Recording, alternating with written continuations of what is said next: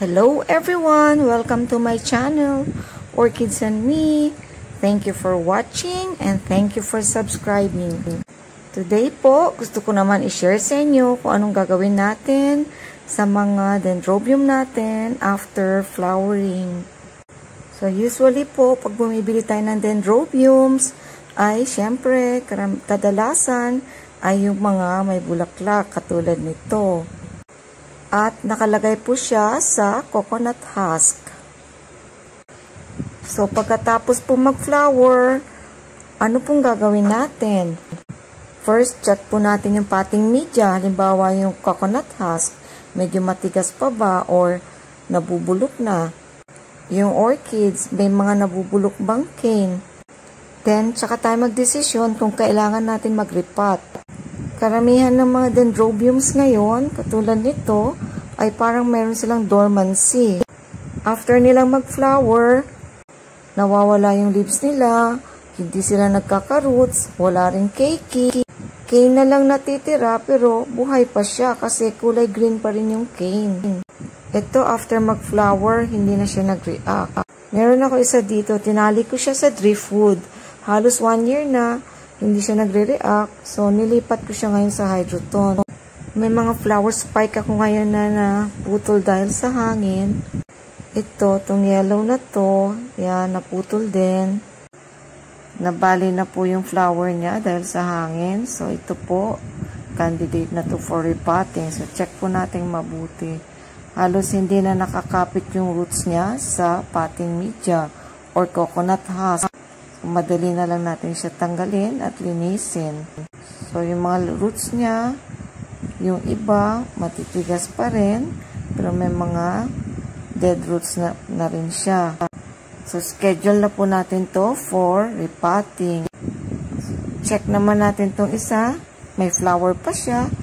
So, medyo nakaangat na rin yung mga coconut husk niya.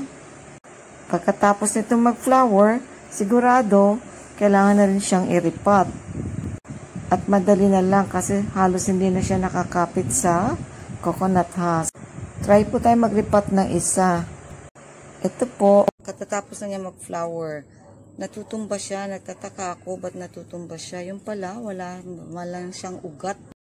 Pwede na rin natin putulin yung spike at dry na siya. Mas okay para hindi na natin kailangang i-seal.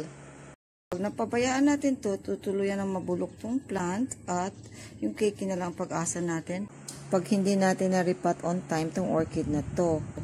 Itong mga cane na to, source of energy po nila. Kaya wag niyo pong tanggalin unless na bulok. So ngayon, lilinisin ko po yung mga roots niya. Spray ko na siya ng hydrogen peroxide. So timpla ko ng hydrogen peroxide, half the strength lang ng 3% para hindi masyadong magastos.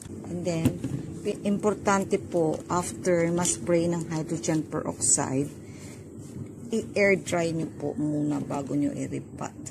Ito yung dati niyang paso, yan pa yung mga natirang bunot. So, lilinisin ko po siya ng dishwashing soap with a drop of bleach or zone rocks. Pinagawa ko sa mister ko. Mas okay po na stake ang orchids para hindi masyadong magalaw at hindi ma-disturb ang new roots nila. Itong uling na to, matagal na nakababad sa tubig. Pinapaulanan ko lang dito sila sa labas. So, yung malalaking tipak po, lalagay ko doon. Kasi, para hindi masyadong magastos sa hydroton.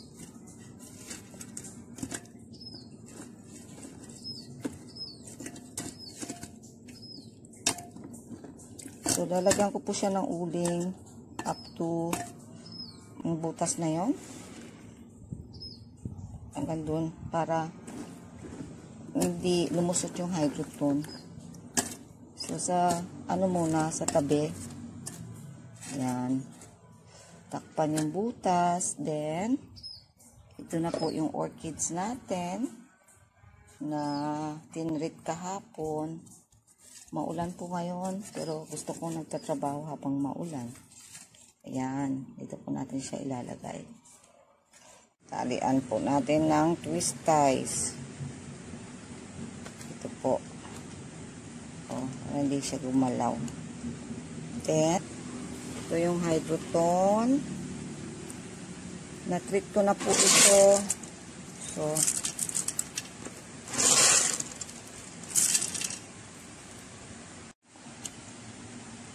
it's raining. And I love to work under the rain.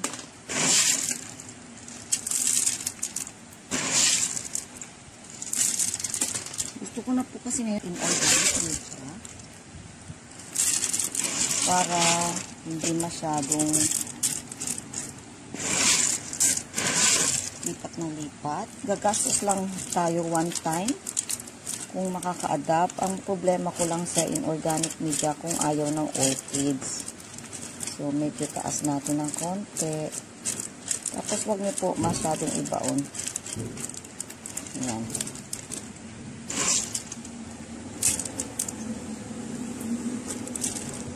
Ayan.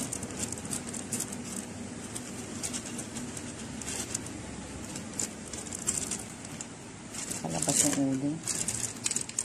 Baka sobra na yun. Ayan mo na. So, tanggalin natin yan. So, yan. So, kita natin may cake siya. Then, another one here. So, yan po. Okay na siya. Meron ako dito, nag-flower na to.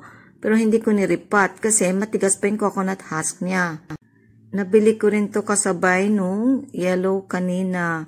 So, ito yellow-green at nabili ko ng January 2020. Ang dendrobium, ayaw niya na naistorbo ang ugat. So, ito, nagkaroon siya ng bagong growth. Ito yung nasa video ko na nutrition booster. Nagkaroon rin siya ng sunburn.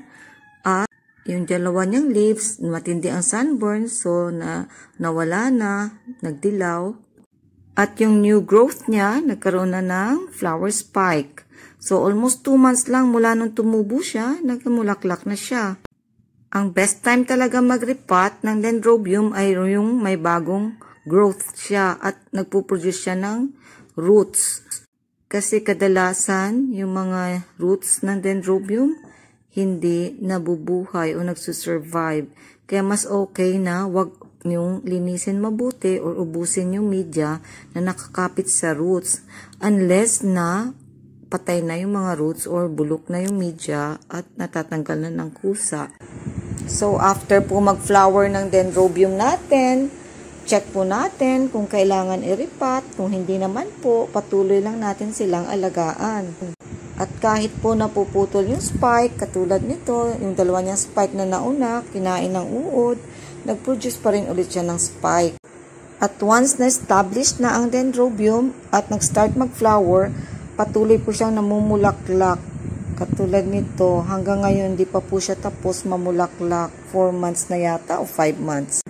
Pero may ibang variety rin po na nagdo-dormant or nagpapahinga sila at hindi nagre-react. So, yun lamang po masishare ko sa inyo, lalo na sa mga beginners. Thank you for watching. Like po kayo, comment, give me some questions, subscribe po kayo at share nyo po itong video na to. Thank you. Bye-bye. See you next video.